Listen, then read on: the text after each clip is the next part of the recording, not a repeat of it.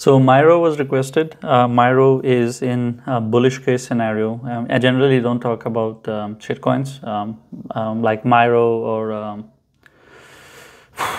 like Bonk or there's so many out there these days. Um, they're actually meme coins. I think they, they are their dogs. So there is a whole different category of it. Anyway, it is bullish on a daily time frame when you look at it, and it is bullish even a two a two hourly pattern when you look at it.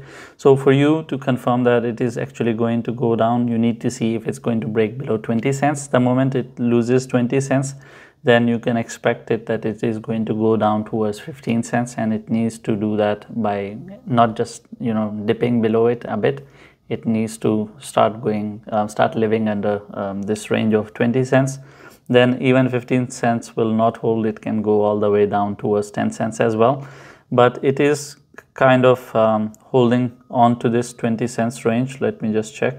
Yeah it is holding to 20 cents. So if it continues to respect this it is like i said it is in a bullish case scenario. From here it should actually start going up.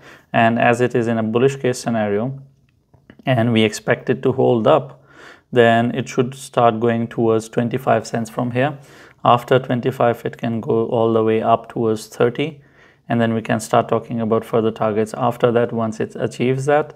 But uh, at this point, it really needs to hold this point. If it doesn't hold, then this overall structure breaks and it will start tumbling down. And this is based on TA.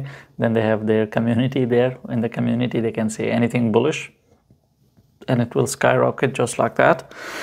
That's why TA doesn't apply much, but uh, someone had requested MYRO, so I had to do it. Thank you.